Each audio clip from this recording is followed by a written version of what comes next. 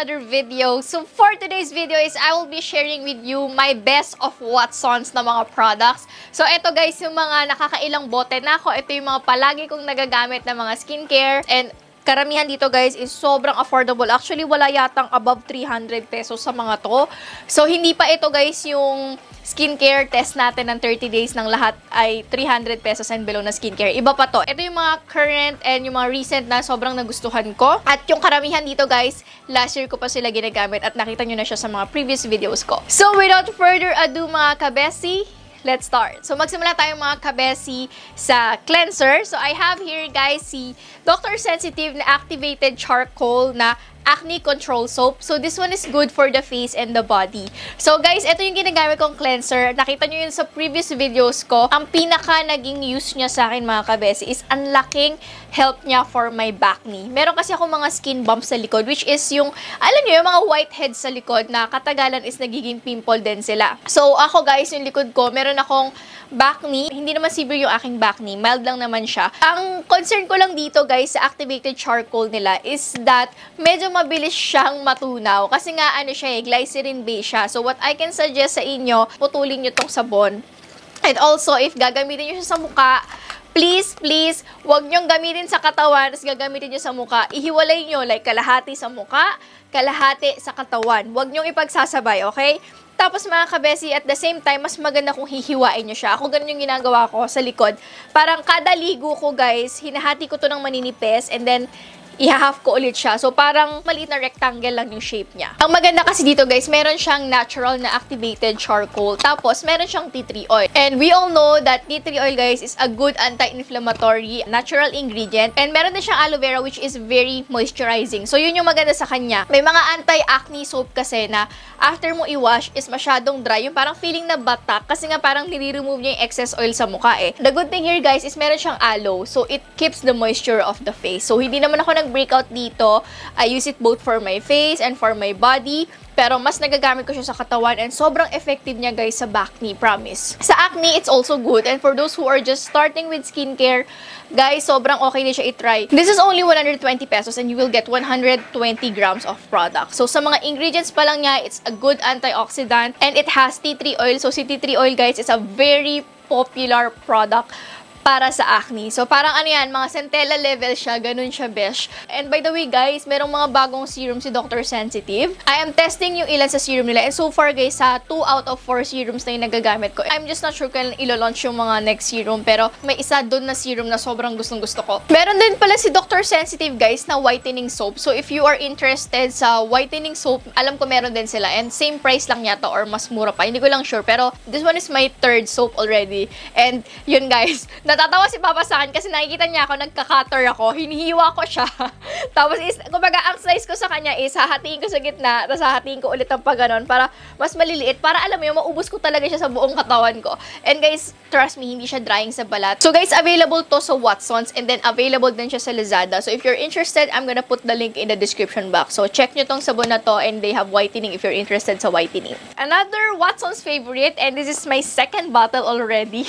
Grabe guys, hirap na hirap akong hanapin to sa Watsons. Diyos ko, ilang Watsons yung napupuntahan ko bago ko siya mabili. Ito guys, si iWhite Korea Aqua Pure Gel Toner. Nabili ko to mga kabesi. 195 siya. And sobrang gustong gusto ko siya. As in, ito yung toner na super moisturizing yung effect. Kapag nag-set siya, alam niyo yung pag gumamit kayo ng iWhite na Aqua Moisturizer, pag nag-set siya, ganun yung feeling niya. So parang, ano siya, kumbaga parang pinag-combine na toner tsaka moisturizer. Parang ganun yung feeling niya. And sobrang plumping sa skin, sobrang hydrating niya tignan sa balat. So this one guys is alcohol-free, talc-free, triclosan-free, and of course, paraben-free. So marami to guys na mga extract, na mga natural ingredients like Panax ginseng extract, meron din siyang aloe vera extract, tapos meron din siyang mulberry extract, green tea, at meron din siyang rice bran extract. So napakarami niyang natural ingredients guys. And what I notice about this is that kapag masyado kasing acidic guys yung ginagamit kong toner or masyadong mababa yung pH niya, is that ang dry sa balat. And kapag dry yung balat ko, nangangati siya. Ganun ka-sensitive yung skin ko sa dryness. Pero with this one, yung toner na to, it is very hydrating talaga. And ramdam mo sa kanya na yung pH ng skin mo is, alam mo yung saktong-sakto lang, it doesn't feel too dry, it doesn't feel too dewy. Kumbaga, nasa gitnang-gitna lang siya. One thing na notice ko rin dito is one time kasi guys, is nag-exfoliate ako. So, bago yung exfoliating product na ginamit ko, and medyo mahapdi siya sa mukha. So, after ko gamitin yon ginamit ko to, nakakasuit siya guys ng redness tsaka irritation sa skin. Kasi meron nga din siyang aloe vera extract, which helps soothe the skin. And then guys, ang isa namang kiniklaim nila dito is that mas pinapadali daw niya yung absorption ng mga products na gagamitin mo for your next skincare. So, ayun guys yung mga claims niya. And so far, so good talaga. As in, I can tell you guys how much I like this one. And ang dami sa inyo nagtatag sa akin sa Instagram na tinry nyo siya and I'm so happy na gustuhan nyo din siya guys. By the way guys, there are two ways on how you can apply this. So pwede siyang yung parang ibabagsak nyo siyang ganun sa face, yung parang pa-drip effect, ganon. O kaya naman sa kamay. Pwede mo siyang gamitan ng bulak, nasa sayo na yon.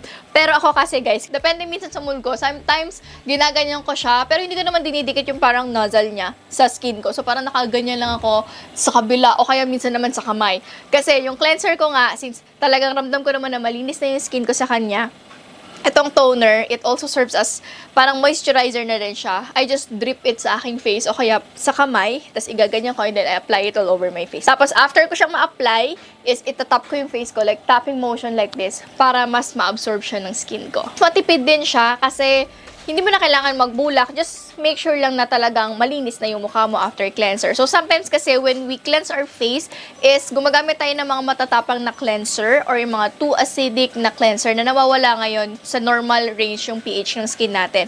And kapag wala sa normal pH yung skin natin, pwede tayo magkaroon ng skin irritation. So, this one is available guys sa lahat ng Watsons nationwide. Meron din sila sa Watsons online ito. Ang hirap nga lang niya hanapin kasi palaging sold out to. Pero, trust me, sobrang worth it niya. Next, Watson's favorite mga kabesi ay itong, taran! This is the Dermaction Plus by Watsons. Ito yung kanilang micellar water or micellar water kung ano gusto mong tawag. Pares lang yun, besh. This one contains 250 ml of product.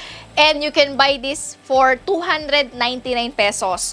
But wait, guys lagi itong nagsisale. Palaging naka-promo, palaging naka 50% off, nabibili ko siya ng 149 pesos. So, kung nakita nyo yung IG story ko before na nag-hoard ako nito, promise, parang apat yata yung binili ko agad. Tapos bumili ako ng isa, yung puti, which is anti-acne naman. Kasi meron siyang ingredients like ascorbic acid, meron siyang niacinamide, so mga good ingredients for acne-prone skin. So, ang ginagamit ko guys na variant is itong sebum control at saka yung kanilang acne control na variant. Same price lang sila mga mga kabesi and nabili ko sila parehas ng 50% off. So, guys, sobrang ganda nitong micellar water na to. Ang hindi lang nito matanggal-tanggal sa akin is yung heroin make. Kasi si heroin make, guys, promise, yun yung mascara na pag di mo tinanggal, mga tatlong araw kang parang naka-falsies. Ganong level yung tinde nung kapit niya. So, hindi nito matatanggal yun. Pero, kaya nitong tanggalin yung mga mascara. For example, Inga mascara, natatanggal niya. Fashion 21 mascara, natatanggal niya uh, Catrice mascara natatanggal niya. So, yun yung mga mascara na meron ako na ginagamit ako nito na natatanggal niya. Pagdating naman sa ibang product, guys, natatanggal din yung foundation and all. Talagang simot niya. Sobrang ganda nito. Actually, kay Rico nalaman to. Kung naghahanap ka ng magandang micellar water slash makeup remover, definitely give this a try. By the way, guys, magkaiba ang micellar water sa toner. When you say micellar water, it's the one that you use to remove makeup. So, yung micelles niya, guys, ito yung nag-attract ng dirt para matanggal niya sa balat mo. And then, toner naman, it balances the pH of the skin and it also removes the remaining makeup. Pero, iba yung function niya sa micellar water. Okay, just to be clear lang. Ito, guys, available to sa Lazada and kapag nagsisale sila, nag-50% off to. So, abangan nyo na lang yung sale, doon kayo bumili kasi sayang din naman. Pero kung gusto mo lang itry, Gora Bells, available siya sa Watsons. Next favorite mga kabesi is itong Taran! Dionat na natural mineral deodorant spray. Naubusan ako nung aloe vera na variant, kaya ang binili ko ay itong blue. Una ko nagamit is blue, and then gumamit ako ng green, and then ito ulit. Halos empty ko ng isa kabesi, kaya bumili na ako ng panibago. I've been using this since last year. Kasi nagka-problem ako sa deodorant ko before. Nangitim yung kinikili ko sa deodorant. So, sabi kong ganyan, I have to switch sa deodorant na hindi mangingitim yung kilikili ko. To be honest, ang hirap humanap ng deodorant na suswak sa kilikili mo. Yung, kumbaga, hiyang yung kilikili mo doon. So, si Kelly, si Kelly guys is short for kilikili. So, si Kelly, hindi siya hiyang sa dati kong deodorant. So, I have to switch. And eventually, na-try ko to. Nakita ko lang to guys sa Watsons. And wala ko nakitang brightening effect. To be honest, wala talaga. Pero what's good is that hindi umitim yung kilikili ko. And medyo nabawasan yung chicken skin ko. Dati kasi guys, is is nagtry ako mag-wax ng ako lang. Tapos, ayun, medyo nagka-chicken skin ako, besh. Dahil nagsariling sikap si ate mo girl. So, ito guys, it helped. Hindi ito nakaputi ng kilikili. Pero ang maganda sa kanya, hindi talaga mag-aamoy yung kilikili mo sa kanya. Yung friend ko yung ginagamit niya yung tawas version, yung tiniikot na gano'n, yung may tawas. Pero ako kasi, mas gusto ko yung spray. Sana lang i-improve nila yung spray nito na parang yung, ano yung mga mist, ganyan. Kasi yung spray nito, kapag nagtagal, nagiging dura. So, pagka-spray mo gano'n, yung, yung fluid talaga, kasi talagang drip off siya dyan, di ba? Nakakaloka, nababasa yung damit. So, sana improve lang nila yung nozzle nito. Pero, overall, performance-wise, maganda siya. As in, buong araw, besh, walang amoy, very fresh si Kelly, hindi siya nangangamoy. Sa pawis naman guys, kapag wala ako masyadong ginagawa, for example, nagfi-film lang ako, ganyan, nakaupo lang ako, hindi naman nagbabasa kilikili ko. Pero once I go out, once na naglakad ako ng kung ano-ano dyan, nagpunta ako somewhere na mainit, nagpapawis si Kelly, pero hindi yung basang-basa na dripping naman. Yung feeling lang ng moist siya, ganun. Kaya pag ganun, once na ma-feel yung moist yung kilikili nyo, guys, maglagay na kayo ng tissue. Kung makakasalubong nyo kami ni Billy minsan, nagdadrive si Billy, yung kilikili ko, may tissue dito. Kasi, yun, kapag nag-moist kasi yung kilikili nyo, guys, yan yung nagiging rason ba't siya bumabaho. Kasi yung moisture, guys, it attracts bacteria, and dun din nabubuhay yung bacteria. Kaya nga sa hospital, guys, pag may mga pasyente kami na mga bedridden, yung mga singit-singit, talagang pinupunasan namin yan. Kasi once mag-accumulate yung moist doon, magkakaroon na rin ng bacterial infection na yun. At yun na nga yun, mai-irritate na, babaho na siya, pwedeng magsugat and all. So ayun, again, hindi siya nakakaputi, pero maganda naman yung sweat control niya. And affordable siya. I think this one is less than 250 pesos lang as compared to other deodorants na medyo pricey ng konti. Ito, 100 ml din kasi laman niya. Kaya for me, sulit talaga to. Okay, another Watson's favorite mga kabesi ay itong, turun, yung dental floss picks nila, yung round thread. Kasi 'di ba guys, naka-veneers ako. So kapag naka-veneers ka, it is a must na every after mong kumain, magpo-floss ka talaga. And even sa mga naka-braces, guys, mag-floss kayo. Kasi hindi naaabot ng toothbrush yung mga area, lalo na yung mga gilid-gilid. Hindi yan naaabot ng toothbrush. So, mas maganda, meron kang floss. So, ito yung binibili ko sa Watsons. I think 100 pesos, tatlong ganito na. So, meron ako sa bag, meron sa kotse, tsaka meron dito sa CR para kapag toothbrush ako, diretso.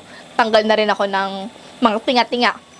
Sometimes, sasabihin mo, nagtututbrush naman ako, bakit ang baho ng hininga ko? What? Minsan kasi guys, nag-accumulate yung bacteria sa mga singit-singit na hindi natin siya natatanggal. And that's one of the causes kung bakit mabaho yung hininga or bakit nabubulok yung ngipin. Yung mga tira-tira dyan, may sugar yan, and you know, bacteria feeds on sugar. And ayun na nga, nagsisimula na magkaroon tayo ng mga dental cavities, ganyan. I suggest na either bumili ka ng dental floss or yung ganito. Ito kasi parang toothpick na rin siya, yung dulo toothpick and then dental floss yung iba. And then mga kabesi, ito na, As in, di ba sabi ko sa inyo, gumagawa ako ng challenge ng all under 300 pesos skincare. And this one, guys, is only 199 pesos. What? Ito na yung ginagamit kong moisturizer ngayon. And kita nyo naman, simot ko na siya bumili na ako ng bago. Kasi sobrang nagustuhan ko siya. Sobrang lakas niya maka-glowy or glass skin. A lot of you is asking me, Ate May, ano bang bibiling ko? Yung soothing gel or ito? To be honest, si soothing gel, maganda siya for the body. Sa akin na. Pero sa mukha, okay lang. Scary bells lang. Pero, ito yung manarecommend ko sa inyo na if you want to use talagang solely sa face. Mas konti nga lang yung laman nito, syempre. Pero iba naman kasi sila ng formula and texture. Pare sila na finish na nakaka-glass skin. Pero ito talaga, once na mag-set sa mukha mo, talaga nag-iiwan siya ng parang thin film na glass skin ka besh, pero hindi malagkit, dugyot, or greasy tignan. Yun yung gusto-gusto ko sa kanya. So, may SPF 50 din to. So, hindi nga lang broad spectrum yung sunscreen niya, pero that's added protection against uh, UVB rays. So, ito guys, eye cream, tapos nagiging liquid siya once you blend it on your face. And sobrang refreshing nito, promise. Kasi, sana matry nyo to. Tapos, let me know kung nag-work sa inyo. Kasi sa akin, ito na yung ginagamit kong moisturizer. As in, all throughout the day, sobrang well-hydrated ng mukha ko. Walang caking yung makeup ko sa kanya. Wala ring patchiness yung makeup ko sa kanya. Sobrang good nito. I mean, I think, kita nyo naman. Kung kung bakit. Gustong gusto ko talaga siya. Another recommendation mga kabesi na Watson's favorite ko is etong Jeju Aloe Ice na sunblock. This is a face and body sunblock and so far ha, ito yung pinakamurang sunblock na alam ko doon na 100 ml tas made in Korea din siya. Ito pala guys is made in Korea din. Like I said before, kung may mga kamag-anak kayo, daddy nyo, mommy nyo, or mga friends nyo, kapatid nyo na nag-work sa field, I recommend na bigyan nyo sila ng ganito. Kasi guys, you don't know what the sun can do to your skin. Kaya nga namin ilalabas si Sun Glow, guys. Para dyan. Alam ko, ang market ng sunscreen before, sobrang hirap. Kasi parang ang mahal-mahal ng sunscreen dati. So ngayon, aware ng mga Pilipino or ang market ng Philippines about sun damage, mas lumawak ang choices natin. And so far, ito yung pinakamarami na pinakamura na nakita ko kasi 100 ml siya. Ito yung tinatawag kong pambansang sunblock ng pamilya, besh. Kasi kami sa bahay, ito yung gamit namin. Even si Billy, ito yung gamit namin pagkaligo namin guys, ito na yung ginagamit naming lotion kasi very soothing siya. Sobrang lambot din ito sa balat. And ang maganda sa kanya guys, medyo, may, and ang maganda sa kanya guys, hindi siya maputi pag in-apply. Parang medyo may pagka-gel yung kanyang texture and hindi siya kulay puti. Pansinin nyo yung ibang sunblock na pag in-apply nyo, lotion na puti. So pag nilagay nyo sa mukha nyo, grabe yung white cast. Ito hindi, very very minimal lang siya. At gustong gusto ko rin yung scent niya. Very fresh yung amoy nito. So, ayun guys, I highly, highly encourage you to get sunblock or sunscreen. Or, pag lumabas na si Sunglow, kung gusto mo na it can double as makeup na rin, you can try Sunglow soon. Pero, ayun, lalabas pa lang siya eh. So, dito muna tayo mag-focus. Ayan mga kabesi. Sobrang nice nito. Last but not the least mga kabesi na Watson's favorite ko is itong Yuki Yuki na clean na bulak. It looks really plain and simple. Pero ang maganda sa kanya, if mahilig ka mag-makeup and may may mga corrections ka, especially sa eyeliner, sa eyeshadow, o kung ano man yan lumagpas sa'yo, ito yung itsura niya, guys. Ayan. So, flat siya dyan sa taas and then pointed siya dito. So, sobrang perfect niya. Kunyari, may mga areas na lumagpas ka. Sobrang ganda niya. As in, ang ginagawa ko, guys, kumuha ko ng micellar water na konti. Tapos, yun yung pinantatanggal ko. Kunyari, yung eyeliner ko, masyadong mahaba yung pakpak ng isa. ba diba? On the wings of love level siya. So, kailangan kong bawasan. Ito yung ginagamit ko sa kanya. So, igaganon ko lang. As in, sobrang useful nito let's not take this for granted.